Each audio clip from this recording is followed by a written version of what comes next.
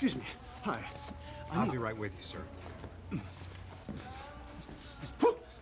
Hi. Hi, I need a refill of this.